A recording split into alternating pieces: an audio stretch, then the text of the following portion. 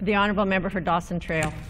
Madam Speaker, the problems facing Manitoba Hydro after a decade of debt, decline, and decay under the NDP are becoming increasingly well known across the province.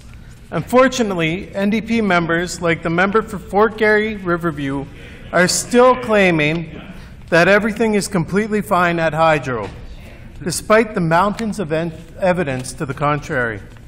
The member for Fort Garry Riverview says that Hydro is in a sound financial position and that the alarmist talk damaged the brand of Hydro. Can the Minister for Crown Services please tell the House the truth about Hydro?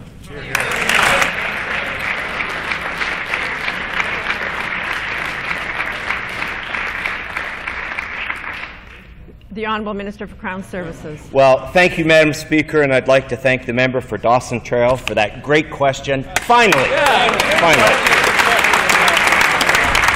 Under the NDP decade of debt, Manitoba Hydro was severely affected by NDP political mismanagement, and Hydro's debt went from 12 billion to 25 billion dollars.